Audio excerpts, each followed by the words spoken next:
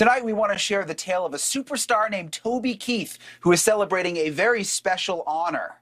No, not the six foot four, 240 pound country music star Toby Keith. This Toby Keith lives in Florida with his owner and is a seven pound chihuahua, a cheerful, handsome hound who recently was certified, certified as the oldest living dog in the world by the Guinness World Records. Uh, and in case you're wondering how old is Tony, Toby's 21, which would equate to 100 in human years. And even though he's little, he has got a big personality. We're joined right now uh, by Toby Keith and his owner, Gisela Shore. I don't really see Toby. Is Toby there? He's he here. I don't see him. We, I think it's we need to get the past his bedtime. There, it's past his base. He's sleeping on you. Oh, there he is. There's Toby. He's so cute. The first thing I got to ask you, which everybody's been asking me, uh, has has Toby Keith the human reached out? He has.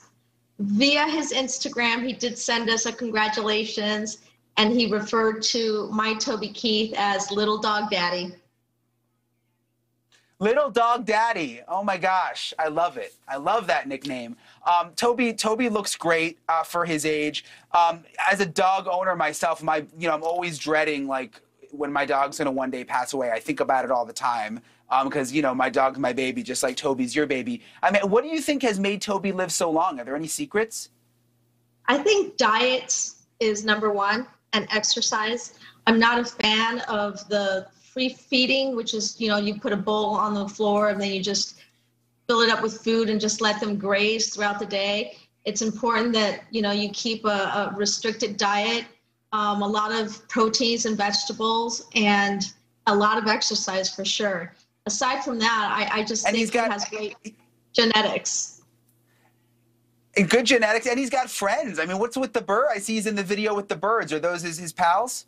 Yes. So I have um, a cockatoo, and that's Coco. They're best friends. My my parrot really thinks she's a dog. Yeah, they they tend to. Well, listen, it was so good to see Toby Keith. I'm so glad he's now 21 years old. Um, thank you both both for coming on tonight. Hopefully, we can have you on next year uh, when he turns 22. That would be great. Thank you so much. Thank you for watching. Click the red subscribe button below so you can get more of News Nation's fact driven, unbiased coverage.